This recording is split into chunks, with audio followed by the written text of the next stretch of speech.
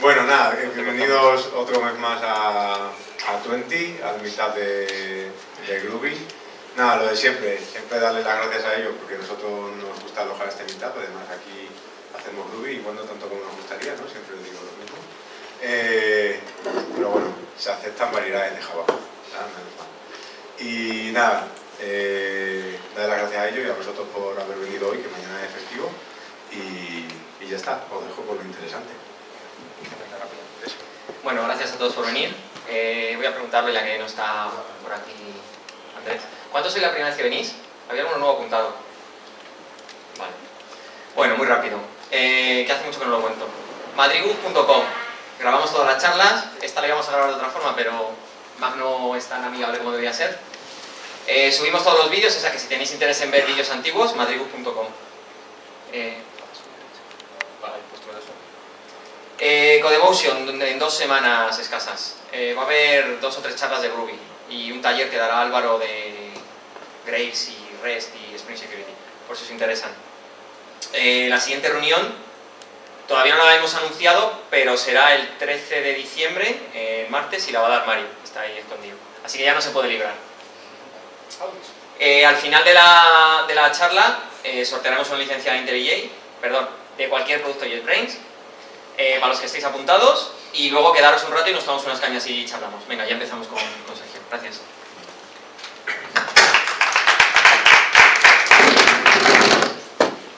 Eh, gracias por venir, eh, gracias a, a Twenty por tenernos. Eh, voy a hablar de scrapear con Jeff. Eh, me llamo Sergio del Amo, eh, arroba Delamo en Twitter y mi arroba sergiodelamo.com mi dirección de email por si me queréis escribir. Eh, trabajo en una startup que se llama Soptimix.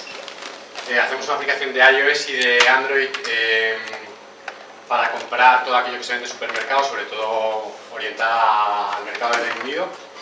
Eh, trabajamos bastante con el ecosistema Group y tenemos todo el backend en Grace 3 y trabajamos también bastante con Jeb, eh, sobre todo usándolo para scrapear. Eh, eh, Jeb, la página web de Jeb se llama jebis.org.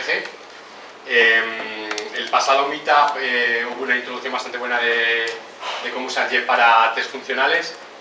Eh, yo me gusta pensar en Jeb como, como una herramienta para automatizar todo aquello que hacemos con el navegador. Eh, obviamente test funcionales para todo lo que sea una aplicación web pues va al, dedo, pero todo lo que sea automatizar tareas que queráis hacer con un navegador, bien sea Scrapper, bien sea automatizar eh, funcionalidad, pues a nosotros nos resulta muy. Eh, hace unos años en, en la rifa del Glitch eh, del último día me tocó la posibilidad de comprar un libro y me compré este libro que se llama, eh, no hay muchos libros de scrapping, eh, este se llama Webbots, eh, Spiders and Skin eh, el autor habla de scrapear con PHP y eh, es, las, las, es un libro muy, muy de, de cero y los conceptos que da independientemente del lenguaje eh, son reutilizables, Eh, si os pica el, el scrapping es un libro eh, para empezar chulo. Em, en el libro habla de diferentes webbots eh, que se pueden hacer para estos se pueden hacer tantos como la imaginación os, os sugiera. Habla de webbots para consultar precios, habla de webbots para, para descargar imágenes, para verificar que los enlaces funcionan correctamente, para enviar email, eh, o webbots, por ejemplo, para convertir un- una página web en una API. ¿vale? Eh, hoy he hecho un ejemplo muy sencillo de cómo transformar eh, la página web de, eh, del Congreso de, de Futuro de Gris del año que viene en, en un pequeño API para devolver el, el about y luego también eh, un pequeño ejemplo de un webbot que en vez de hacer un API lo que hace es se va a la página de, de Glitch y se descarga los, los tickets eh, disponibles en, en diferentes formatos. ¿vale? Y luego un webbot un poco más complejo sería un sniper que básicamente sería una especie de, de webbot que monitorizaría una página web los precios y cuando un precio estuviera por debajo de un, de un determinado threshold pues haría una compra. ¿vale? Em, vale. Eh, tengo todo el código de este repo, aunque la captura de no funciona, todos los slides y los repos están online, ¿vale? Así que sin problema. Eh, antes de empezar a ver el repo, eh, me gustaría repasar algunos conceptos sobre, sobre Jeb, ¿vale? Eh, las páginas de Jeb, eh, me gusta no confundirlas con las páginas de HTML porque básicamente en JEP una página, como dice la definición que, tiene la documentación, te permite definir partes interesantes de la que se las páginas HTML de una manera concisa, mantenible y extensible, ¿vale? No sé los que conocéis la serie Prison Break, ¿que la conocéis alguno? La serie Prison Break, las últimas temporadas eran un poco más, pero la primera temporada me pareció espectacular y tenía un argumento un poco peregrino. Michael Scofield se metía a la cárcel a rescatar a su hermano y lo que hacía era se tatuaba eh, en el cuerpo eh, blueprints de la cárcel y dependiendo del capítulo lo miraba de una manera o de otra y en los tatuajes se veía pues eh, un día estaba la ruta de acceso por el tejado y otro día estaba la ruta de acceso por la alcantarilla, ¿vale? Yo me gusta pensar en, las páginas de Jeff como blueprints que ponemos encima del HTML, ¿vale? De manera que tú puedes llamar al método page, ¿vale? Y le dices, vale, pues ahora la página que tienes por debajo donde está el navegador me la pasas por ese filtro y ahí ya puedo llamar unos métodos que tengo definidos en esa página o me la pasas por otro filtro y ya puedo llamar otros métodos, ¿vale? Eh, ¿Cómo funciona la concatenación de URLs? Eh, más adelante en un slide hablo de, cómo construir una URL dinámica con Jeff. Eh, básicamente podéis mandarle al path absoluto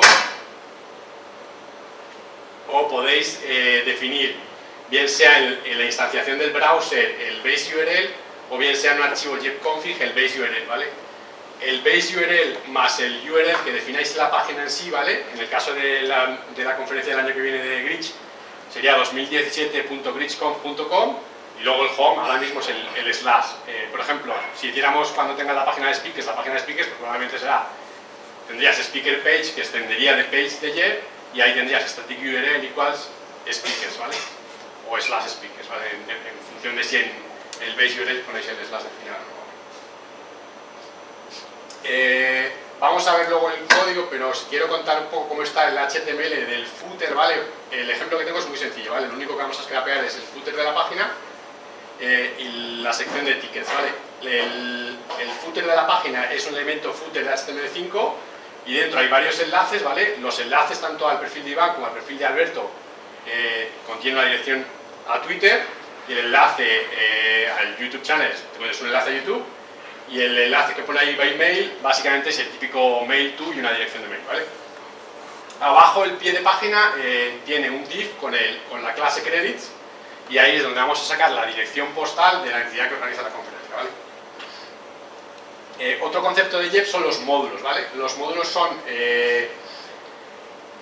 el ejemplo más sencillo para entender lo que es un módulo en JEP es si yo tengo, por ejemplo, una página en la que tengo una navegación que se reutiliza en todas las páginas, pues lo que hago es me creo un módulo para esa navegación, eh, los módulos básicamente extienden de, de módulos de JEP y, ahí eh, encapsulo toda la funcionalidad de la página, ¿vale? Y luego en el, encapsulo toda la funcionalidad de la navegación y de las diferentes páginas aplicaría el módulo, ¿vale? Luego vamos a ver un ejemplo de un módulo eh, para paginación y los tickets de grids también los tengo esta es la estructura de HTML de la sección de precios que tiene ahora mismo la página de Glitch. Hay un, un elemento de HTML con clase eh, PTP Pricing Table. Dentro hay tres, me parece que son divs con clase eh, PTP Item Container. Y luego por cada uno de esos PTP Item Container hay eh, lo que sería el, el, nombre del ticket que le ponen PTP Plan, la descripción sobre el precio del ticket que le ponen PTP Price y luego hay múltiples BTP Ballet Item, que son pues, un poco la descripción del ticket eh, más en detalle. Y abajo está lo que sería el Call to Action, que es eh, un div con un clase BTP CTA y dentro hay un enlace, eh, los, los, tickets que están disponibles tienen el enlace en sí y los que no están disponibles tienen en el atributo href tienen JavaScript 2.25, ¿vale? Esto sería como mapea, el bloque de arriba es el HTML cogido, pegado tal cual de, la página de Grinch de uno de esos tickets, ¿vale? Y abajo tendríamos el módulo. Eh, eh utiliza eh, se fija mucho en jQuery para inspirarse a la hora de facilitar la selección. Aquellos que hayáis trabajado con jQuery, pues eh, trabajar con JEP es muy natural, ¿vale? En jQuery cuando seleccionamos algo, seleccionamos una colección. En JEP cuando seleccionamos algo, seleccionamos una colección. Eso que veis coma cero, básicamente lo que le está diciendo es de la colección de elementos div con la clase PTP plan, me das el primero. Eh, el required false que veis en todos esos elementos, cuando hagáis nuevamente un scrapper de un código HTML que no, que no, fabric, que no producís vosotros, pues no tenéis certeza que ese, que ese elemento vaya a estar cuando paséis el scrapper, ¿vale? Entonces el required false lo que hace es que no te salte una excepción eh, si el elemento no existe. Y entonces lo que podéis hacer es una comprobación, podéis hacer eh, plandiv.empty y eso te va a decir si el elemento no está, ¿vale?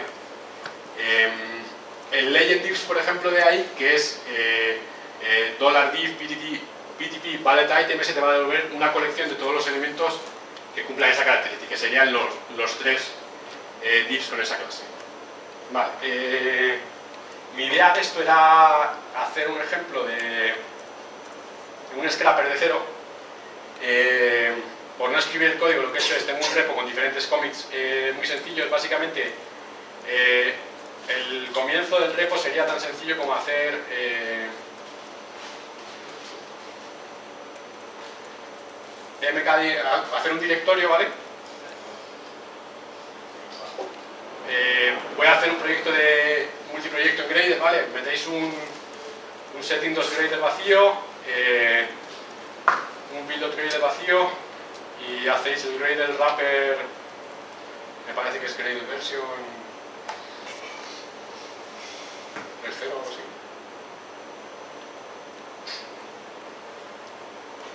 Y ese sería el comienzo del repo, ¿vale? Eh, yo lo tengo ya hecho, no cagarlo. Eh, vale, el- este repo inicial es lo que acabamos, lo que acabo de hacer, vale, básicamente crear el, el build Gradle vacío, el wrapper vacío, etcétera, etcétera. Eh, creo un directorio que le llamo scraper, ¿vale? Ahí es donde voy a tirar el código de jet. Eh, le aplico, esto lo voy a mirar directamente aquí el, el Gloss Commit, ¿vale? Porque no hay mucho que mirar y luego ya cuando empieza a clases lo vemos en IntelliJ con el Presentation Book para que lo veáis bien. Vale, dentro del, eh, creo un archivo build.gradle dentro del scraper, vamos a ver.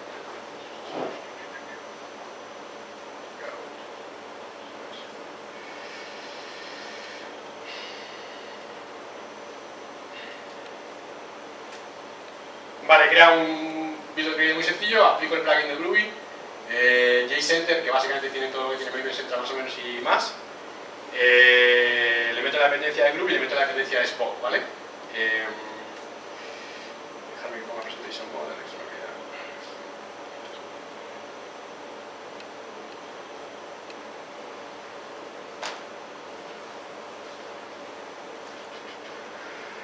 Creo que aquí no tengo ni siquiera nada metido, ¿no? Sí. Tengo eh, una clase donde voy a meter eh, básicamente tanto a Iván como a Alberto, ¿vale? Eh, esta sería la clase donde lo que vamos a, a scrapear y el test fallando, ¿vale? Básicamente aquí voy a tener algo que me va a devolver una colección, vamos, un set de, de personas y pues voy a comprobar que tantas de esas personas están. Eh, voy a empezar metiendo la dependencia me parece que meto la dependencia directamente de... En JEP se pueden trabajar con diferentes drivers, ¿vale? JEP está encima de... trabaja con Selenium, eh, entonces todos los drivers que estén para Selenium más o menos los podemos utilizar. He metido, para meter JEP, metes la dependencia de JEP, metes la dependencia de Selenium Support y luego vas a meter algunas dependencias para diferentes drivers, ¿vale? Metido la dependencia de, de HTML Unit, ¿vale? Eh, normalmente cuando trabajo con un driver que no es un navegador real, trabajo con Phantom.js, pero HTML Unit, como no tienes que tener el- ningún binario, pues para al principio está bien. Este sería el test eh, eh, directamente metiendo el, el código de JEP en, en el test, ¿vale? Instanciamos el browser, le decimos, vale, la base URL del browser, vamos a coger la URL de la conferencia, le digo, vete, go directamente a la página de inicio, ¿vale? Eh, tengo los ejemplos sin utilizar muchos clauses porque a lo mejor para, son un poco más confusos, ¿vale? Para, para scrapear, para, para test funcionales a lo mejor son más, al menos yo lo veo más sencillo así, ¿vale? Eh, el, el método punto dólar me parece que tiene un equivalente que es punto find, ¿vale? Si el punto dólar resulta confuso, eh, básicamente lo que le está diciendo es devuélveme toda la colección de elementos que sean enlaces que cuelguen de un elemento footer, ¿vale? Eh, luego voy a usar el, el find all de, para, para hacer un subset de una colección en Groovy, ¿vale? Me voy a quedar con aquellas cosas que tienen un atributo que contiene Twitter, ¿vale? Que van a ser los enlaces tanto a a Alberto. Y básicamente hago un collect al final, ya lo tengo, ¿vale? Este test me pasa ya, ¿vale? Ya tendría un test que, que se va a la página y se baja esa información de una manera estructurada, ¿vale? El siguiente paso eh, como al final lo que yo quiero hacer es eh, un scrapper, no quiero tener el código eh, directamente en, mi folder de test, ¿vale? lo quiero tener en páginas y luego lo, voy a meter en clases que normalmente yo las apellido fetches, que son aquellas que luego voy a invocar. ¿vale? Em, he metido básicamente este, es lo mismo que hacía el test, lo único que ya lo he metido en una página de JEP. Básicamente una página de JEP es un objeto que extiende de page que es eh, jeff.page. Eh, tengo aquí el static URL, ¿vale? que es el home. Igual, yo normalmente cuando trabajo en Scrapper, normalmente casi todas las cosas las pongo con required false. Eh, si ponéis cosas con required false, pues luego ponéis el, si algo está vacío, pues ya os comportáis como queráis comportar. Yo devuelvo una, un, set vacío, ¿vale? Pero al gusto del consumidor, ¿vale? Eh, y aquí hago el, mismo, la misma operación que hacía antes dentro del test, ¿vale? Hago el find all y luego hago el clear. Si no me explico o algo, me paráis, ¿vale? Eh, es, un proyecto muy sencillo y no va a haber ningún problema. Eh, la manera ideal de trabajar con JEP es trabajar con un archivo de configuración, ¿vale? Eh, el archivo de configuración, no os lo he enseñado, lo ahora mismo, lo podéis definir, yo normalmente lo que hago es, hago un multiproyecto, tengo un archivo de configuración en la parte de test con muchos drivers, ¿vale? Eh, aquí solo tengo el HTML unit, pero luego el otro código vamos a que tengo más drivers y en el Python que meto todos esos drivers como dependencia test compile. Y luego en el proyecto que quiero ejecutar en sí, que van a ser estos que ahora están vacíos cuando los vayamos a ir rellenando en otros commits, eh, ahí ya pongo en dependencia compile el driver que quiero utilizar, ¿vale? Em, normalmente la instanciación del browser, eh, lo típico es hacerla en jepconfig, la instanciación del driver, perdón, y otros parámetros, por ejemplo, puedes cambiar el, tiempo de espera por defecto de JEP, que me parece que son dos segundos, lo, es también típico eh, cambiarlo aquí, o meterle capacidades a un navegador también, o sea, un driver también es típico cambiarlo aquí, o, definir el base URL también es muy típico ¿vale? Si definís el base URL, pues aquí ya no me hace falta tener el base URL aquí, ¿vale? Eh, ya directamente lo instancio el browser y le digo tu homepage y luego ya eh, el to devuelve un, un page, ¿vale? Normalmente los ejemplos que veréis de JEP son dentro de un closure que utiliza básicamente la delegación dentro de Closure, entonces no vais a ver que pero al final lo que vuelve el to es un page. Eh. Es decir, hemos pasado de tener todo el código directamente dentro de un test a mover parte del código a una página de JET y otra parte del código en archivo de configuración, ¿vale? Le voy a meter más drivers. Vale. Eh, JEP utiliza un concepto que es el concepto de environments, ¿vale? muy parecido a, en Grace que tenemos environments por defecto de development, eh, production y test. Eh, en JEP es muy típico tener environments y en función del environment eh, instancias un driver o otro. Entonces el environment se lo puedes pasar normalmente por un system property, ¿vale? entonces en función del environment de JEP, que es jep.env, instancias un driver. Y en el de aquí yo tengo definidas las dependencias eh, de todos los drivers, ¿vale? Eh, la dependencia de Phantom.js, la dependencia de HTML Unity, como he visto antes, la dependencia de, del driver de Firefox, la dependencia del driver de Chrome.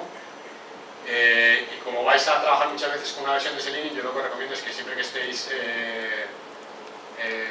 reescribiendo versiones, utilicéis el, string interpolation de Groovy para que el, el, el build of create los quede más mantenido, ¿vale?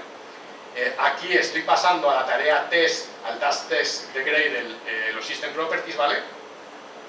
Eh, y esto lo que me va a permitir es ejecutar los tests tal que... tengo la chuleta directamente en el commit, ¿vale? Yo tengo, o sea, si vais a Phantom.js,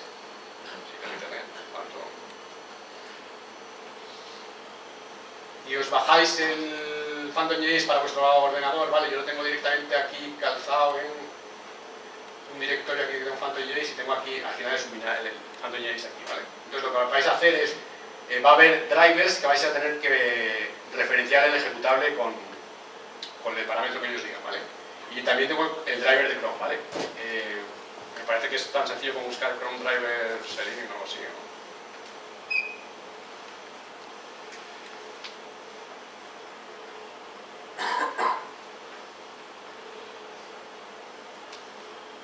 Esta web me parece que es, ¿vale?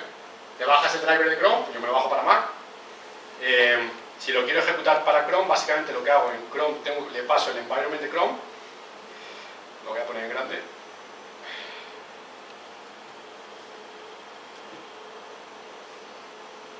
Eh, le pasas eh, como un system property, ¿vale? El JEP de Chrome, ¿vale? Luego le paso eh, este parámetro que es básicamente le digo dónde está mi driver. Y lo último es la tarea dentro del módulo de Scrap, la tarea text, ¿vale?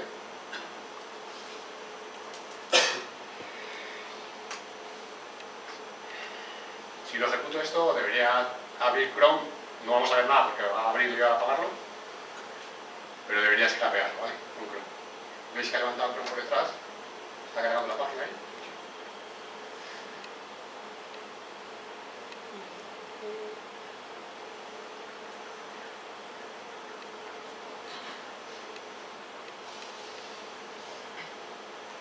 Está muy emocionante.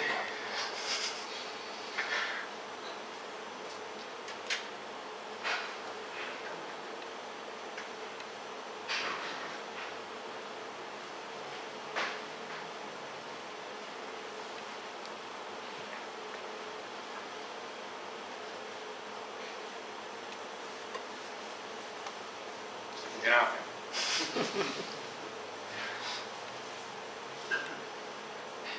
Mientras acaba de fallar. eh, eh, para pasar con el driver de Phantom sería así, ¿vale?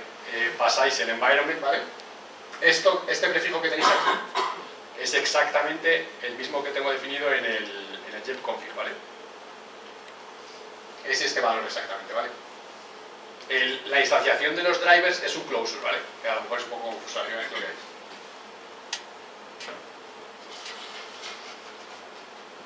Ha pasado, ¿eh? Le ha costado, pero ha pasado. ¿Cómo se ha pasado con Phantom?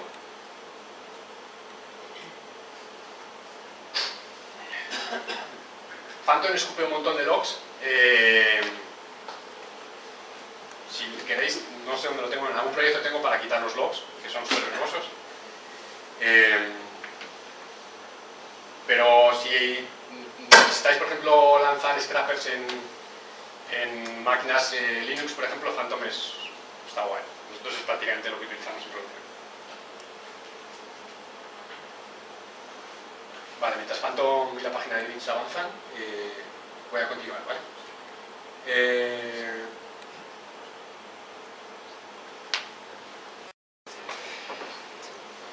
eh, hasta ahora lo que hemos bajado es la... Nos hemos bajado las, personas que organizan la conferencia, ¿vale? De una manera estructurada. Lo que me bajo aquí es la dirección de email, ¿vale?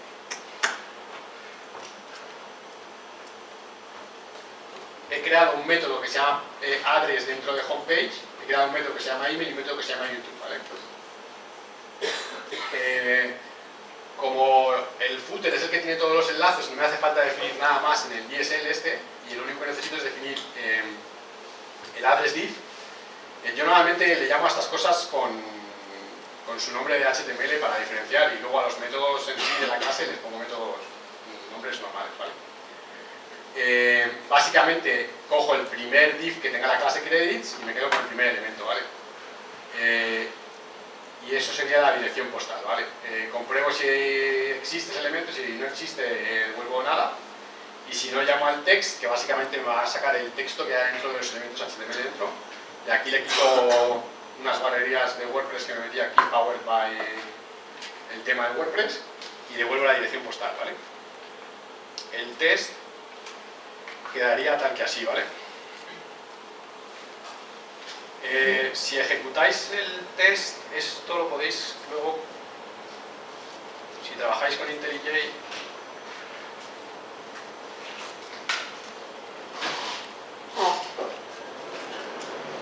aquí podéis pasar los System Properties también, ¿vale?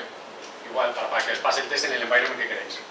¿Vale? Si queréis que os lo corra en Firefox. Yo normalmente, cuando hagáis un test, pues normalmente está bien verlo con Firefox o con Chrome para ver lo que está pasando, porque a veces el test está fallando porque se está abriendo un pop-up o pasa algo raro, ¿vale? Entonces, no, no, yo como trabajo normalmente es lo, hago el test hasta que lo tengo funcionando con un navegador que veo y luego ya compruebo que me funciona con Phantom y si me funciona con Phantom pues lo doy por, por bueno, ¿vale? Hasta que se rompa. Eh, que los scrappers se rompen porque son páginas que me controlan. Eh, vale, el siguiente paso eh, es llevarnos esto a... a ver, una página que se llama About. Una página, una clase que se llama About, en el que básicamente va a ser eh, la información que me voy a bajar y esta información voy a crear un endpoint luego con servicios de Amazon en el que básicamente voy a exponer, va a ser slash about y va a estar el address, el email, YouTube y el view, ¿vale? Eh, cuando en Groovy, en Groovy es un lenguaje que tiene type inference, entonces cuando tú pones eh, def número igual 1,28, él se imagina que vas a usar big decimal y infiere que vas a usar big decimal. Si no quieres usar big decimal, pues le dices 1,28 as float y él ya dice, vale, pues te lo pongo como float. Eh, podemos hacer un override también de, de las en nuestras clases, ¿vale? Eh, yo aquí me he hecho en homepage, ¿vale? Si hacéis un override del método object as type, aquí le decís, vale, si lo que entra por aquí es about, pues yo instancio about y lo que retorno es about, ¿vale? Y esto lo que os permite es, cuando vayáis al about fetcher aquí, podéis ser tan molones como hacer page as about, ¿vale? Ya directamente te va a devolver un objeto about con todo, con todo completo, ¿vale? Yo aquí el test lo que hago es pues, que el queue no está haciendo. Claro, ¿no? No decís nada. Vale, el ticket. Eh, este es el ticket, ¿vale? Lo que hemos visto antes, ¿os acordáis que era un, un div como con varios elementos, ¿vale? Tenía el name, el price, el info, el call to action URL y el available. Bueno, el available lo he metido yo, que si está disponible o no está disponible. Y el call to action URL, pues cuando esté disponible va a haber algo ahí donde se puede ir. Eh, y si no, va a estar nulo. Eh, tengo un test, creo que se llama Ticket Fetcher, que básicamente se va a la página home y dentro de la página home me crea un método que se llama tickets. El método tickets utiliza un elemento que he definido en el content DSL, que es este, ¿vale? Esto yo es un, diríamos, una manera muy visual de trabajar con Jet, que es básicamente tienes como el...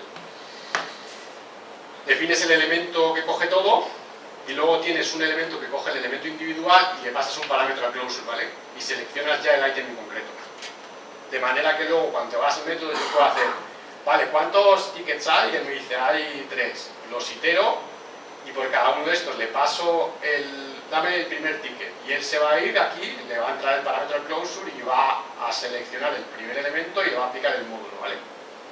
Cuando le apliquéis el módulo, yo aquí ya en este mod puedo llamar a los métodos que están definidos en el módulo. Y el módulo es el módulo que os he enseñado antes, ¿vale? Tiene unos métodos muy sencillos. Eh, el método que más chicha tiene, que no tiene nada, es eh, el que mira si esto, si lo que hay en el, en el enlace, aquí arriba, si el, si el href del enlace está igual a JavaScript, dos puntos punto y coma, quiere decir que es un ticket no está disponible y entonces devuelve un nulo, ¿vale? Y el available básicamente pues va a llamar a esto y si es, si es nulo, el, en Groovy el nulo se va a volver a false y no va a estar disponible. ¿vale? vale, ya tengo el test pasando que se baja los tickets. El siguiente paso normalmente que hago yo es, vale, pues voy subiendo código que tengan los tests a clases, ¿vale? Normalmente creo este tipo de objetos, ¿vale? Eh, about Fetcher, que tiene un método que se llama Fetch, en el que ya básicamente este método se encarga de levantar el navegador, se va a la página en concreto y aquí utiliza el, el, método este que hemos hecho override para básicamente instanciar un objeto con todo lo que hemos descargado de la página, ¿vale? De manera que en el ticket, no sé si lo tengo en el about, Fetcher spec, ya aquí directamente eh, he sustituido el, el este ya directamente compruebo que esta clase que acabo de crear con toda la funcionalidad ya la tengo, ¿vale? Entonces, básicamente ya tengo todo el código en un código que no está en test, sino que está en, en, en source main, ¿vale? Eh, voy a ir al paso de crear eh, multiproyecto, ¿vale? Entonces, lo que hago es, en el, en el build.gradle que está en root, ¿vale? Me voy me voy a bajar, eh, defino el bloque estándar para definir las versiones para en todos mis modulitos pues utilizar la misma versión de Groovy, utilizar la misma versión de Selenium, ¿vale? O la misma versión de Spock. Eh, voy a crear un proyecto de Lambda, ¿vale? Eh, para los que no os conozcáis Lambda de Amazon, eh, de Amazon AWS, ¿vale? Básicamente ellos no te cobran por tener un servidor encendido todo el rato, sino que te cobran por el tiempo de ejecución que lleva el Lambda y lo que y el número de peticiones totales. Entonces, para cosas muy intermitentes, que os dé un poco igual, porque tiene un coste de levantarse la primera vez, pero luego va bastante rápido, es bastante económico esto. Es como, como que no tenéis necesidad de tener un servidor en caliente las 24 horas del día, sino que solamente se levanta cuando lo invoquéis, ¿vale? Entonces, como en Amazon lo que están haciendo es desmenuzar todas las piezas, eh, lo que vamos a hacer es, eh, dejarme que haga checkout de esa parte, hacer, eh, hay un post de, del chico de Agora Plus eh, que, explica cómo hacer un microservicio de Ruby y desplegarlo en Lambda con, con API Gateway, que es otro servicio de AWS, y es lo que yo he seguido básicamente. Eh, como el, API de AWS tiene una librería de Java bastante decente, pues podemos usar Ruby para prácticamente todo, ¿vale? Para usar eh, lambda tenéis que meter esta dependencia, ¿vale? AWS lambda Java Core. Y yo básicamente lo que defino son unas clases que vendrían, yo me los imagino como los controllers de Grace, ¿vale? Y luego unos métodos que serían los actions de un controller de Grace. Eh, si lo definís tal así con un request y un about, el request sería donde yo podría mapear parámetros, yo lo tengo aquí en vacío, ¿vale? Lo he puesto simplemente por ejemplo y el about sería el objeto que él básicamente te va a renderizar como un JSON, ¿vale? Entonces, eh, para exponer una función de lambda, lo metéis tal que así, ¿vale? Tengo luego 20 transparencias muy rápidas con todos los clics para desplegar este código. Tengo unas cuantas de Jet que me gustaría ver antes y si os quedáis con ganas, vemos otras, ¿vale? Eh, entonces, como veis es súper sencillo desplegar... Ah, vale, lo que os contaba antes como en Lambda yo quiero ejecutar este código con el driver de HTML unit, pero no quiero... Lambda tiene un requisito que es que no podéis subir un, un hard de más de 50 megas, me parece que son. Entonces no interesa meter drivers a saco que no vayáis a utilizar. Entonces yo aquí lo único que hago es, eh, me llevo HTML unit solo, ¿vale? Eh, el código para HTML unit que sean estas cuatro dependencias, la dependencia Y, la dependencia de Selenium Support, la dependencia de HTML unit y la dependencia de HTML unit con Selenium, y en el jetconfig, que ya no lo tengo en test, sino que lo tengo directamente en el resources de ¿vale? Aquí directamente digo, vale, pues en, este microservicio de Lambda me vas a ejecutar, eh, me vas a coger el, código HTML unit y en el Python Gradle tengo que, que tenga acceso al código de scripter, ¿vale? Que es donde tengo el código de Jet en sí, ¿vale? Definís esta tarea y luego eh, yo tengo aquí en... Tengo un, el directorio donde está todo el código que es de lambda. Si yo ejecuto aquí gradle wrapper lambda build,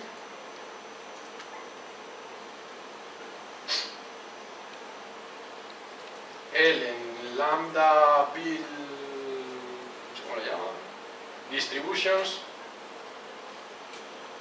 este archivo, ¿vale?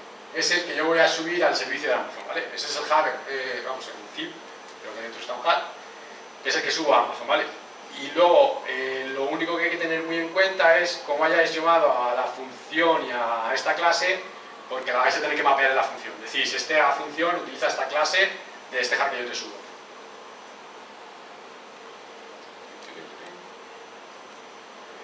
Eh, voy a meterme en la consola para ver si os enseño esto. No se tarda nada en, hacer una función, ¿vale? Y los clics son bastante intuitivos para ser una cosa de AWS que normalmente es un poco pesadilla.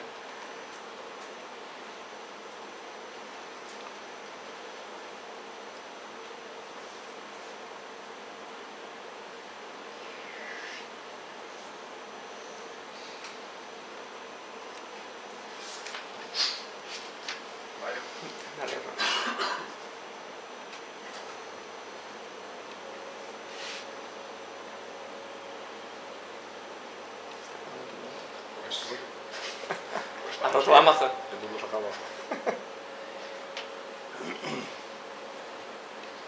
Vale.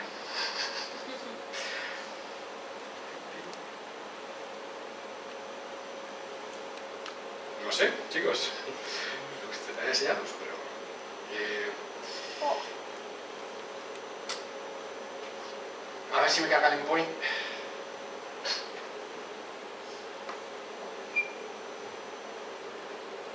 Esto la primera vez es fácil que te dé un timeout y luego a las invocaciones me están tardando como dos segundos más o menos. Es un poco el entorno, pero si no tenéis eh, un requisito de velocidad, pues, pues está bien, ¿vale? Eh, venga, voy a hacer las slides rápidas. Ya que no va funcionando otro, os enseño esto rápido, ¿vale? ¿Cómo subir el código? Es, seleccionáis lambda ahí abajo, get started, seleccionáis blank function, next, ponéis el nombre que os la gana, seleccionáis que lo queréis hacer en un runtime de Java, subís el zip que os he dicho ahí y aquí está la amiga, ¿vale? Aquí le tenéis que decir la clase que queréis usar y el handle request es como llamado yo a mi método en el otro lado, ¿vale? Si utilizáis, si hacéis un endpoint que es un Y, pues va a ser lentorro, con lo cual meter un timeout alto, ¿vale? Para que no se, no haga timeout antes de que haya hecho el scraper. Y ahí habéis acabado ya con el lambda, ¿vale? Desplegado en Amazon. Utilizáis otro servicio que es el API Gateway de Amazon, ¿vale? API Gateway, esto es como básicamente definir un API. Yo le digo, vale, voy a hacer el API de Grid, creo un resource, que es como decirle, voy a crear un, un path, ¿vale? Voy a crear el path about, le creo el método, pues el método de HTTP que queráis. Yo le voy a decir que es un get, porque como no voy a modificar nada, pues un get. Y aquí está la chicha, aquí le podéis decir diferentes cosas y una de las que podéis seleccionar es, vale, para este get lo que quiero es que utilices un lambda, ¿vale? Y cuando seleccionáis la región en la que habéis definido vuestro otro lambda, en el scroll down os va a aparecer lo que tenéis, ¿vale? Seleccionáis el que tenéis y ya lo tenéis conectado, ¿vale? Aquí ya podréis hacer un test y vais a ver que os renderiza el about eso, lo va a renderizar como JSON, ¿vale? El renderizado estándar. Lo- cuando, si lo queréis acceder, por ejemplo, desde, yo utilizo un programa que se llama PO, pero si utilizáis Postman o algo así, o, directamente desde el terminal o desde un navegador, lo tenéis que desplegar, ¿vale? Eh, hay un drop-down ahí que has deploy, también trabajan con el concepto de stages, que es como los environments, dices, pues, production. Y listo, ya lo tenéis, ¿vale? 20 slides, y al final lo que tendréis es un churro como este, si lo queréis, podéis usar custom domains también en API Gateway y ya tenéis vuestro endpoint, ¿vale? Esto no sé si alguna vez cargará la vida.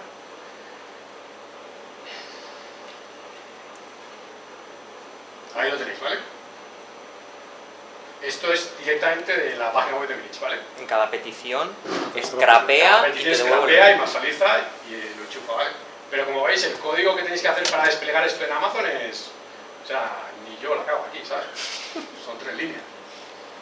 Vale, o sea, todo este código es código que tenéis testeado en el otro lado. ¿Vale?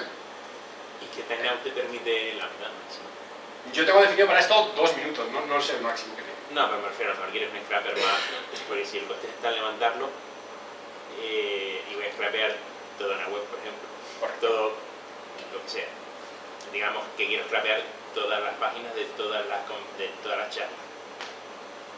Eh, podría, es decir, Lambda soportaría que tuviese 10 minutos ahí. No lo sé, no lo sé porque el Lambda yo no lo he utilizado para eso. Nosotros, para hacer un scraper como el que tú dices, levantamos una instancia de C2, Hmm, subimos y lo ejecutamos con Java menos jar, que es el ejemplo que voy a ver ahora. ¿vale? hmm. Y ahí ya, pues, cuando acaba, si quieres, si eres sofisticado, te mandas un email a ti mismo y en plan, acabado ya, y te conectas y lo. Sí, sí. Eh, eh, nosotros como lo hacemos es así. Pero esto para cosas en plan comprobación de precios, Hmm. que quieras hacer un tiro, pues está bastante bien. Nosotros lo estamos utilizando para ese tipo de cosas. ¿Y se puede programar, rollo, un cron o algo? ¿O tienes que ejecutarlo tú el cron de Yo creo que la gente que es más perra hace un cron para mantener esto vivo, en plan, cada 3 o 4 minutos, no sé a cuántos- a cuánto se quedará idle, pues si haces un cron que cada 2 minutos hace una petición, pues imagino que esto estará en caliente y no lo sé. Yo, la- mi primera experiencia con Anda es preparar esto para esta charla. No, no lo utilizamos en producción. Eh, Vale, déjame que continúe con el siguiente. Vale. Eh,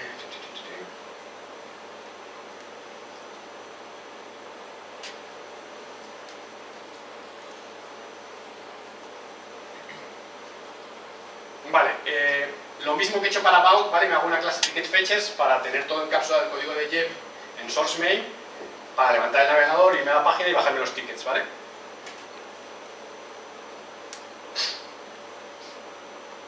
Y ahora viene lo divertido, que es me creo otro módulo en mi proyecto de Gradle, ¿vale?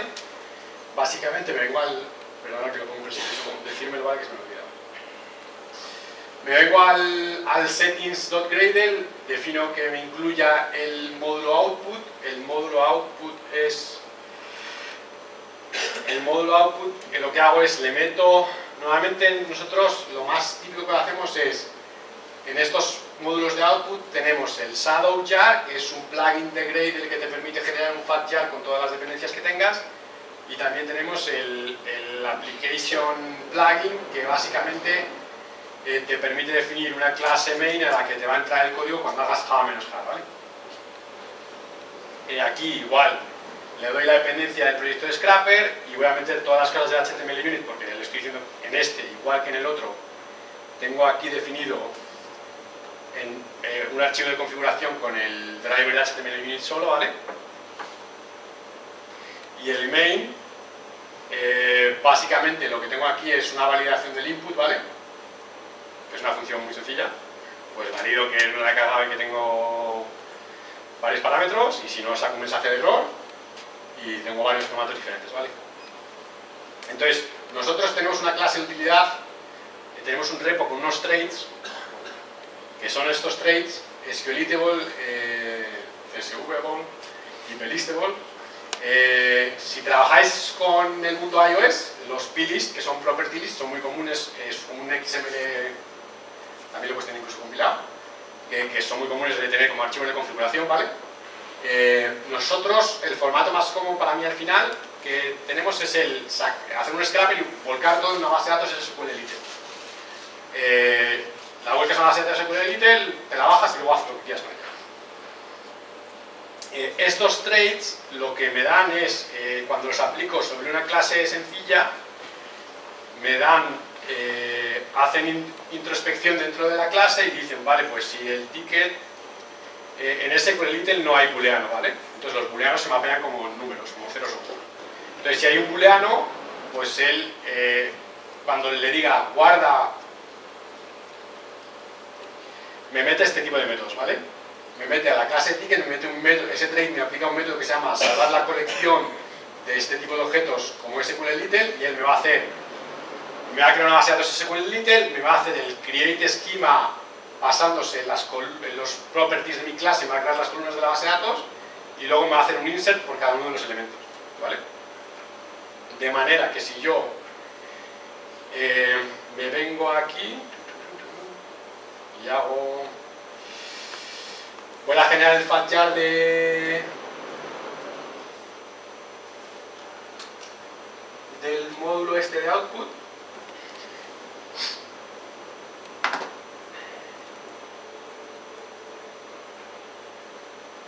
Y ahora voy a ejecutar el el jar ese para que me cante lo que tengo que utilizar. Output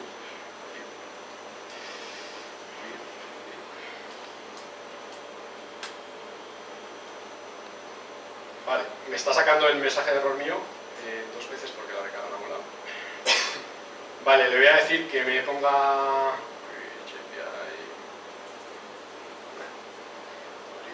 Ese es el nombre del archivo básicamente donde quiero que lo guarde. Le voy a decir que me lo guarde aquí en el directorio de downloads. Y le voy a decir que me lo guarde como SQLite, ¿vale? Esos son parámetros los que he definido yo porque Normalmente utilizamos ese tipo de parámetros, pues en qué directorio lo quieres guardar, cómo lo quieres llamar. Él lo que ha hecho es, ha hecho, se ha ido a la página de Glitch con el driver HTML Unit, se ha bajado todo, tiene una colección de tickets, eh, como a la clase ticket le habíamos aplicado el trait ese de, de guardarse como SQLite, pues ha sido capaz de guardarse como SQLite. Aquí, como bien dice Iván, podéis comprar también una licencia de DataGrip con IntelliJ y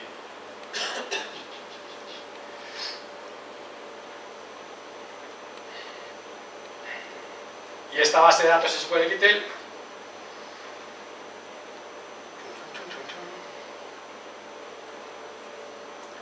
veis aquí que tengo eh, él me ha hecho me ha creado el esquema de la base de datos en función de cómo era mi clase, ¿vale?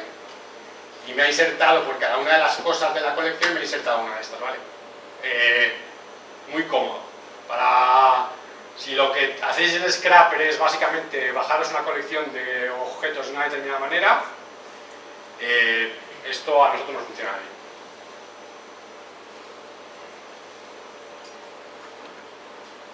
Vale, en principio tengo un par de cómics más de limpieza de meter el code aquí eso, pero voy a saltar las transparencias ya, ¿vale? Eh, tengo dos ejemplos más y una colección de trucos y tratos, ¿vale? Eh, vale, lo, hemos visto en el ejemplo ya, básicamente, eh, si no queréis hacer, por ejemplo, un API a través de algo que hayáis scrapeado, pero lo queréis volcar, pues, bueno, no no lo he enseñado, pero no lo enseño. estos trades están en un repo que se llama así, ¿vale? Está en mi, en mi GitHub, ¿vale?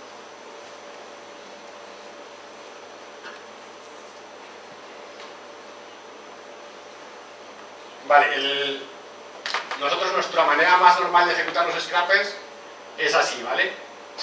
Entonces, normalmente lo que hacemos es, para poder hacer un fatjar que lo puedas ejecutar y entrar a un main class que tú sepas y tal, a mí me resulta muy cómodo este tipo de configuración, ¿vale? Aplicar el plugin de SAUYAI y el plugin de Application, ¿vale? Y al final lo bajáis como queráis, lo podéis bajar como SQLite, pero luego tengo un ejemplo con el CSV, por ejemplo, de los miembros de Madrid, ¿vale? Ejemplo 2, ¿vale? Nos quedan solamente dos y, los trucos. Em, este es un repo que es un scrapper que se va a una meetup que vosotros queráis. Eh, los meetups como el de Malibu tienen muchos miembros, pagina todos los miembros, se va cogiendo el identificador de persona de cada uno, se va a la página de esa persona y se baja pues, el nombre del tío, la URL de su foto, el Twitter y lo que queráis. ¿Para qué vale eso? Pues pues cargando un CRM y luego en el cañas y tapas pues sabéis el nombre de la gente. Eh, ejemplo de, URL dinámica, ¿vale? Eh, la URL de una persona en concreto, no sé quién es esa persona, no sé si es uno de vosotros dos, pero no me acuerdo. Eh, la URL de una persona en concreto en un meetup es meetup.com, que sería el base URL, luego tienen una cosa de idioma que es el es.es, luego tienen el slug del grupo, ¿vale? y luego members y luego el identificador de la persona, ¿vale? ¿Cómo narices construyo yo esta URL dinámica con JEP. En JEP puedes hacer override de un método que se llama convert2path en el que le entra eh, un array de objetos que básicamente van a ser los parámetros. Entonces, para hacer la concatenación esa que hemos visto en el ejemplo de antes, tú en el trozo de abajo, ¿vale? Veis que mandas al navegador al base URL le dices vete al meetup member page, el meetup member page en el static URL tiene definido el path ese que teníais y entonces la concatenación que sería sería base URL, el URL que tengáis en la página y el resultado de convert to path. Y el resultado de convert to path utiliza los dos parámetros que metéis aquí, el group slash y el member ID, que serían el args0 y el args1 aquí, ¿vale? Y con eso pues URLs dinámicas. Eh, ¿Cómo funciona la, página? La paginación es una cosa muy típica de un scrapper, ¿vale? prácticamente en cuanto hagáis un scrapper que se tenga que mover un poco, pues eh, tiene que paginar. Eh, la paginación normalmente tiene unos elementos muy habituales que son una flecha o algo para avanzar una página, una flecha para ir a la página anterior, un indicador que te indica en qué página estás y el número de páginas. A veces te, te muestran todas, otros te ponen unas cuantas, lo típico, ¿vale? En Meetup en concreto ellos tienen una order list con el clase pagination, ¿vale? Eh, entonces yo en mi Meetup Member List Page, en el DSL de Content, tengo Pagination y te tengo, vale, oye, a la lista desordenada con clase en Pagination le aplicas el módulo Pagination, ¿vale? Normalmente a los módulos Pagination yo hago que esos módulos implementen una interfaz para abstraerme un poco más del código de JET, ¿vale? las paginaciones normalmente eh, pues tienen un método para avanzar, un método para retroceder, un método para decirte, oye, estás en la última página, ya no hace falta que pagines más, o para decirte que estás en la primera página, o para irte a una página en concreto, ¿vale? Eh, en el, una vez que has aplicado el módulo, el DSL del content lo haces para el HTML que está dentro del trocito para el que has aplicado el módulo, ¿vale? Entonces, eh, hay unos cuantos enlaces, que son básicamente, selecciona la colección de todos los que sean enlaces, la página seleccionada es, eh, va a ser algo que tenga en la clase selected, voy a llamar a text y la voy a pasar entero, esto es fácil que nos dé un punto intersect en algún momento, y si no, si esto es un nulo, pues em, creo que estoy en la primera página, ¿vale?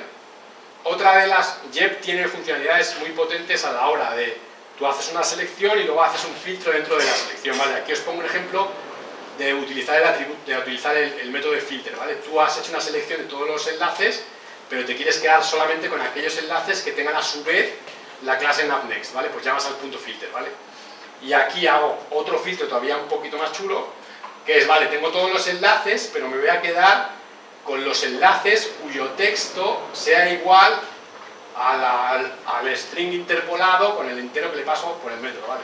Es decir, si le digo vete al número 2, él va a coger los enlaces, va a ver, este enlace tiene un texto que es un 2, va a decir sí, pues me quedo con ese, ¿vale? Y va a saltar a esa página. Eh, esto sería el código eh, que hace todo el scrapper.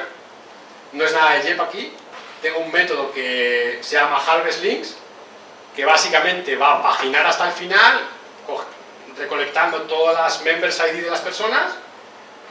Luego voy a iterar sobre todos los members y los voy a popular, ¿vale? Eh, este sería el HarvestLinks, que es el que pagina todo el rato, ¿vale? Entonces este se va a la página del meetup en concreto este también utiliza URL dinámica, lo único que es un poco más simple, simplemente pide un parámetro, el grupo slash, ¿vale? Se va a la página del grupo, itera hasta el infinito hasta que esté en la página del final. Cuando esté en la página del final hago un break y me pido. Si no estoy en la página del final, voy a llamar al pagination next page, ¿vale? Y mientras tanto voy a llamar al persons. El persons aquí es un método definido en esta página, ¿vale? La página de los delegados de los clauses en Groovy, ¿vale? Eh, y el método populate es muy sencillo, se va a la página de, la persona en concreto y todo esto son eh, todo esto está definido en el static content de esta página, ¿vale? ¿Claro este ejemplo más o menos? Esto al final cuando lo, lo ejecutas, tengo, tengo hecho unos delays, para no ser muy cafre con, con Meetup tengo hecho un delay de, en plan de, entre 1 y 4 segundos entre clic y clic, de manera que esto es lento como el solo para ejecutarlo. Entonces tengo un vídeo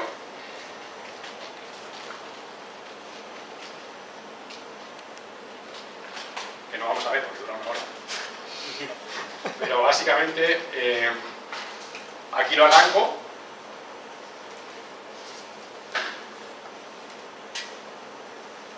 arrancar estoy generando el fat jar ahí, ha hecho el shadow. Y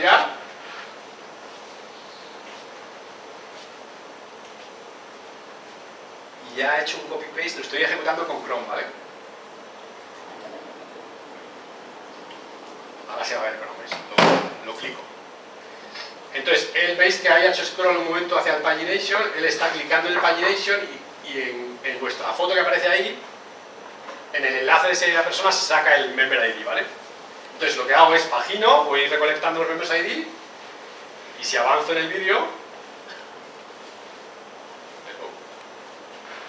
ya me estoy yendo a la página de cada persona directamente de arriba vais a ver que va cambiando la URL, ¿vale?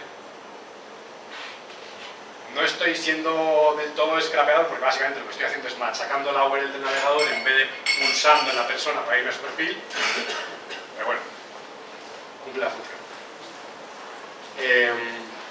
vale.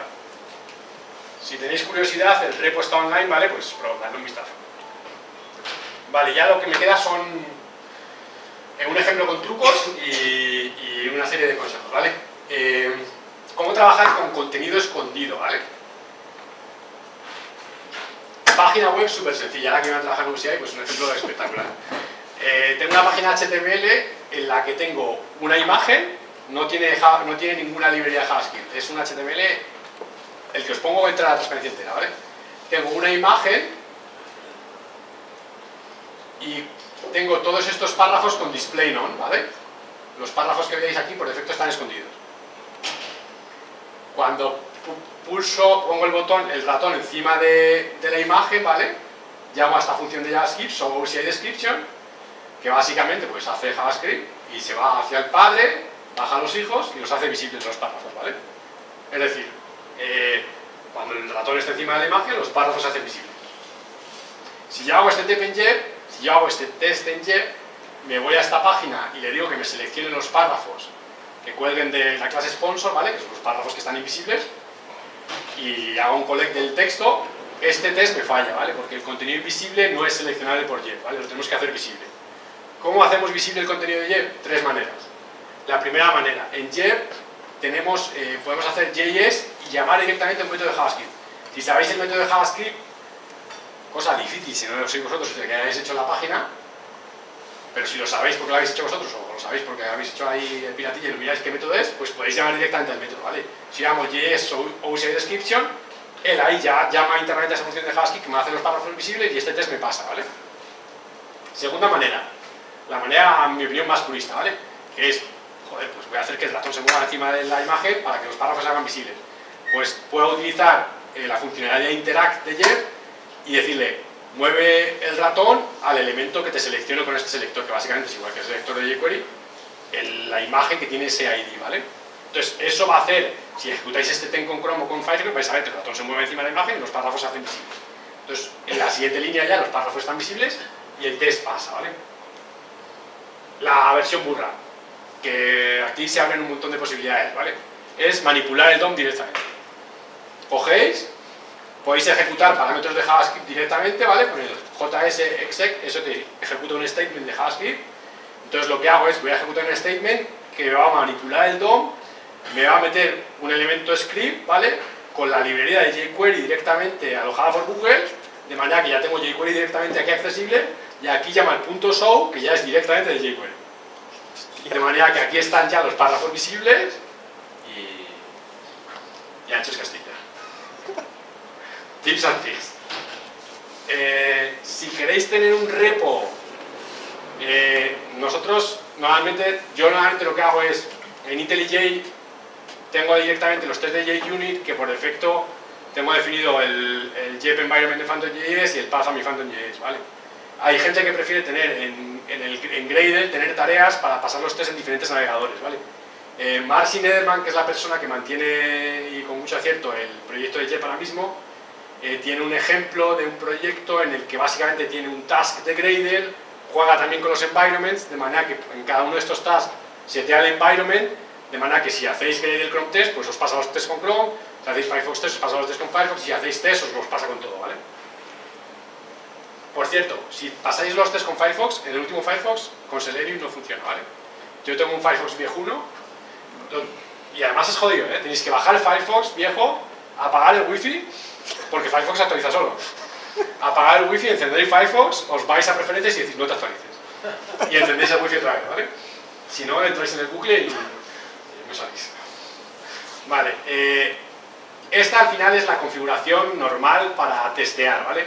Es, tenéis un, un config en el que tenéis varios drivers, ¿vale? Eh, si tenéis varios drivers, eh, ¿cómo pasáis los tests? Pues utilizando el environment, ¿vale? Y luego para diferentes environments, pues tenéis diferentes parámetros, ¿vale? Para Phantom y para Chrome, pues ahí tenéis la chuleta, ¿vale? El User Agent, ¿vale? Se puede dar la circunstancia que vayáis a una página web con el User Agent de Phantom y la página os diga que no se puede acceder con el User Agent de Phantom, ¿vale? Eh, hay una página web que se llama eh, whatsmyuseragent.com, ¿vale? El driver de Phantom en el constructor le podéis pasar capacidades, ¿vale? Una de esas capacidades es eh, setear el user agent que queréis que Phantom use, ¿vale? Entonces tú a Phantom le puedes decir que utilice el user agent como si fuera Firefox. De manera que cuando instanciáis el driver, el user agent de Phantom, pues no va a ser Phantom, sino que va a ser eh, Firefox, y en aquellas páginas que os escapen por user agent, pues os van a dejar entrar, ¿vale? Eh, este es un test, por ejemplo, que tengo en este repo, que básicamente se va a esta página, que os he enseñado antes, que esta página al final lo que hace es escupe en este párrafo el user agent con el que accedéis tengo un método en esta página que se llama userAgent que saca ese texto y lo que compruebo es que no tengo FileTom sino que tengo Firefox, ¿vale? Si el index of es distinto de menos 1 quiere decir que aparece, que es una ocurrencia. No utilizo context eh, Cookies. Eh, la fortaleza que tiene es que está en nombres de WebDriver, ¿vale? Entonces al final tenéis toda la funcionalidad de WebDriver a un par de clics. Entonces, si queréis sacarlas, cuando vais a una página y queréis ver las cookies, eh, si vais a la página de CodeMotion de este año y le decís eh, browser.driver.manage.getCookies, eso os da un set de unas clases cookies que son ya directamente de Selenium, ¿vale? Y yo aquí tengo, por ejemplo, un método que pues básicamente me coge esas cookies, me las concatena como el nombre de la cookie y el valor de la cookie separadas por un separador que ponga yo, ¿vale? ¿Para qué podéis utilizar las cookies? Para autenticar. Muchas páginas utilizan las cookies para autenticar. De manera que podéis hacer código con JEP que se autentique, cojáis las cookies y ya directamente hagáis las peticiones post directamente sin JEP. ¿vale? Utilizando esas cookies, o sea, normalmente la gente guarda las cookies y luego las pasa por headers para autenticarse. ¿vale? Aquí esto es para que no os pase como a mí, ¿vale? Una mañana yo me volvía loco porque yo tenía un test que era relativamente sencillo, pasaba en Firefox y cuando lo ejecutaba en PhantomJS me fallaba. Y me fallaba y no lo entendía. Hasta que me di cuenta que por defecto PhantomJS se ejecuta en 400 x 300. De manera que si scrapeáis una página que tiene un diseño responsive, donde tiene, es diferente el contenido que os sirve en responsive que en desktop, y estáis haciendo el texto para machear lo que os sacan en texto, pues estáis jodidos. Entonces la manera es maximizar el navegador. Vais y le decís, no, no, ponte a pantalla completa que quiero trabajar a pantalla completa. Y el PhantomJS se pone a 768 por 1366, ¿vale? Eh, la manera más rápida de scrapear es coger el HTML y leerlo directamente, ¿vale? Eh, la manera menos mantenible, pero probablemente la más rápida, ¿vale? Eh, en JEP podéis ir a una página y, sacar el HTML en crudo que, os iba a la página, ¿vale? Para ello, otra vez, estáis en nombres de WebDriver, decís, vale, oye, navegador, dime de cuál es tu page source. Y ahí tenéis todo el chorro de HTML donde estáis, ¿vale? Ya que tengo un test donde voy a mi blog y pues miro que, hay, que se cierra el ¿vale? UI Interaction, eh, esto ya lo vimos en el pasado Mita, pero vamos, básicamente eh, si queréis meter, si queréis loguearos, por ejemplo, vais a tener que rellenar un, input field, ¿vale? Pues en JEP es muy sencillo, básicamente esto es un string, pues utilizáis el, left shift operator a un selector de un input field y, vais a ver cómo os mete los caracteres, ¿vale? Si queréis ir más chulos, pues cogéis esto y iteráis los chats, le metéis un retardo y parece que escribís. eh, mover un slider, ¿vale? Eh, pues mover un slide, esto es un ejemplo cogido tal cual de la documentación de JET. Yo personalmente no he tenido que utilizar eh, esto porque no, hemos trabajado con una página que tenga sliders, pero en teoría se puede mover un slider y, veis que es bastante, bastante legible, ¿vale? Pues coges, lo arrastras, lo mueves hasta tal sitio y lo sueltas. Eh, si scrapeáis y os empiezan a llegar, no sé si conocéis estas páginas, HTTP Status Docs y HTTP Status Cats, son buenísimas. Si alguna vez tenéis un código HTTP y no sabéis lo que significa, eh, estos tienen una foto de perros por cada uno de los códigos HTTP. Entonces el, 429 es cuando oye, os dicen, oye, que te estás pasando, ¿eh? demasiadas peticiones, ¿vale? Eh, aquí lo, mi recomendación es, pues, diferentes máquinas con diferentes direcciones IPs y repartir la carga, ¿vale? En Groovy tenemos una función que se llama collate que para definir sublistas dentro de una lista es bastante útil, ¿vale? Es decir, si tenéis 50 elementos y los queréis repartir en 7 máquinas y queréis que la primera máquina os haga estas 8 peticiones la siguiente os haga estas 8, pues esto sería una manera de, eh, teniendo el índice de la máquina, que si la máquina 4, porque empezamos de 0, la máquina 4 se va a encargar de 25 a 32, pues ya lo así, ¿vale? Es decir, si, os enfrentáis con muchas peticiones, la manera es repartir, ¿vale? Eh, esto está cogido del libro. Eh, básicamente, pues la recomendación que os hace es, si queréis pasar desapercibido, pues no escrapéis a la gente a las 2 de la mañana cuando no tienen tráfico y le metáis ahí una barbaridad de tráfico, todos los días a la misma hora, o, o en festivos, o, y, que uséis retardos, ¿vale? Y yo lo que recomiendo es que, joder, que no hagáis ataques de denegación de servicios, o eh, que al final, si scrapeéis, pues o sea, hacerlo legal y hacerlo con tacto, ¿vale? Eh, esto es un código de Groovy raterillo para hacer un retardo, ¿vale? Eh, random entre 1 y 4 segundos.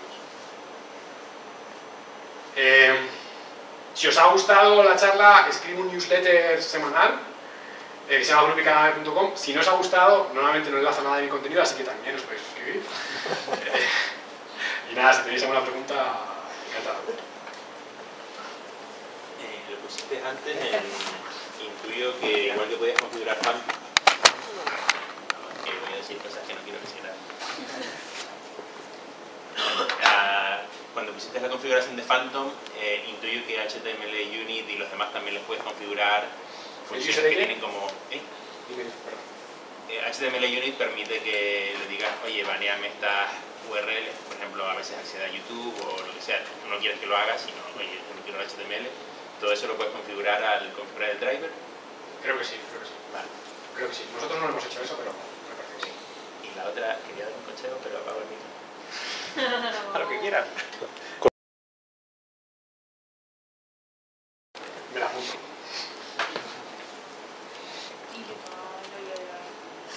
Yo ya no trabajo en esa mesa. Pero el delito no ha prescrito, seguro. Más preguntas. ¿Trabajáis con JEP alguno normalmente? Para testes, si trabajáis en aplicaciones web está bastante bien también. Vale, pues nada chicos, muchas gracias. Muchas gracias.